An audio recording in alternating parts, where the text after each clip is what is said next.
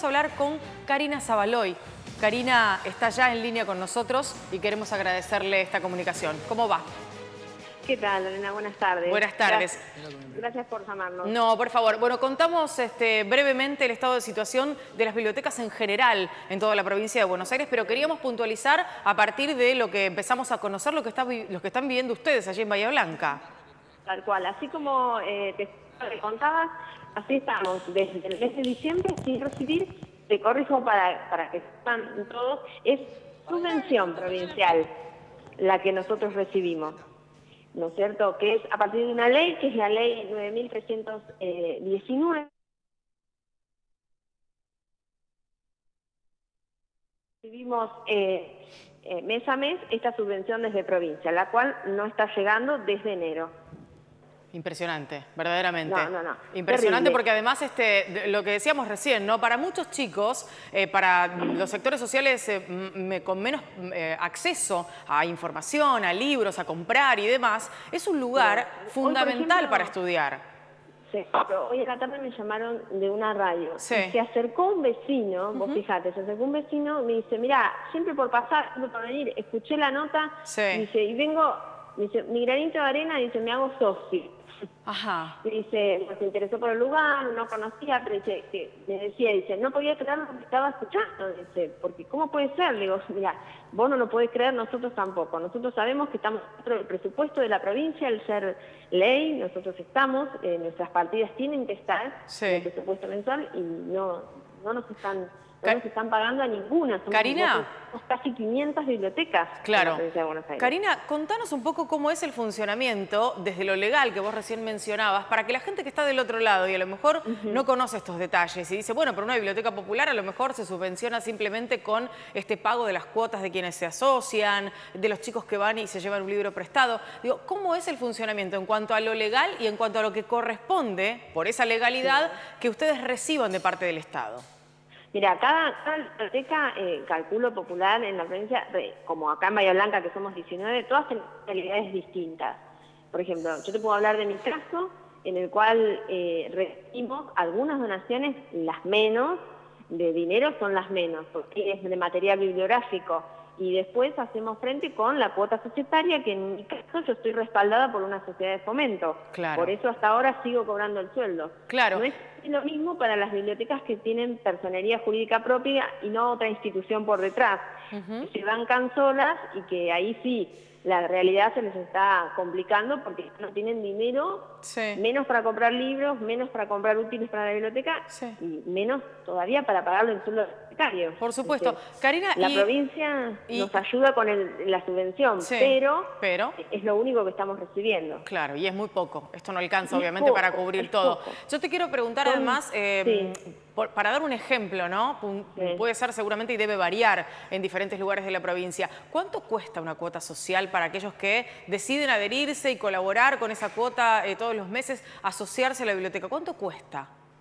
Y mira, hay, como vos dijiste, varía de acuerdo, eh, hay, no sé qué, bibliotecas por ahí más eh, carenciadas, ponen una cuota simbólica para que el usuario se acostumbre a esto, a que la biblioteca también necesita una ayuda, que puede variar en los 10 pesos, por decirte. Claro. Y, y en mi caso mío, eh, la cuota societaria es de 50 pesos el bimestre.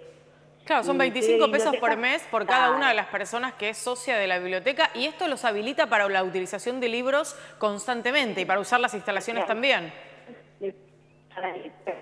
Ah, se nos está entrecortando la comunicación, a ver si podemos recuperarte. A ver ahí. Ahora sí, te decía, con esos 25 pesos mensuales tienen la posibilidad de utilizar las instalaciones y los libros a lo largo de todo el mes. Correcto. Las instalaciones que incluye, eh, por ejemplo, Internet. Claro. El acceso a Internet libre. otra cosa que nosotros pagamos de nuestros bolsillos. ¿No es cierto? Pero bueno, todo eso eh, el otro día en una prensa que se dio acá en Bahía con las bibliotecas, eh, hubo bibliotecas que plantearon desde julio piensan que van a tener que cerrar sus puertas. Claro, claro. Porque no eh, pueden, eh, básicamente, pagar la alimentación. A ver, estamos con algún inconveniente para, escucharte, entendemos que estás en un celular, las señales no siempre son las mejores. Eh, quiero preguntarte, eh, ¿cuál sería una posible solución? ¿Cómo podría llegarse a eh, solventar el ejercicio y el trabajo de las bibliotecas populares? Sobre todo teniendo en cuenta que, digo, está todo este dinero de la subvención que debiera llegar para que puedan pagarles el salario a muchos docentes, como, como vos nos contabas recién, en aquellas bibliotecas donde no hay una asociación por detrás que pueda garantizar el pago del salario para los bibliotecarios y por otro lado, este, digo, ¿qué cosa puede hacerse para que puedan pagar, por ejemplo, o afrontar el pago de los servicios, que hoy con el aumento de las tarifas debe ser tremendo para ustedes? Para nosotros está siendo tremendo, está comenzando a notarse eso. Sí.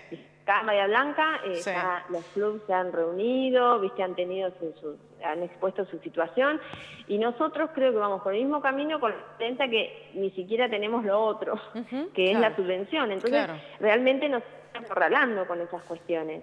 Eh, eh, está siendo muy complicado porque, como vos dijiste, eh, mi caso yo tengo una sociedad de fomento, pero las que están, como esta que yo te decía, que en julio dijo que probablemente tenga que cerrar puertas, son instituciones que hace años que funcionan, años que, colman las necesidades de toda una comunidad barrial y que no pueden llevar adelante no solo por el pago, sino por gestionar los servicios tampoco. Claro. Porque es mucho dinero, son seis meses. Yo lo que siempre hago es que no, no, no se cobraba siempre a tiempo. Siempre había, eh, años anteriores había un desfasaje de meses. Sí.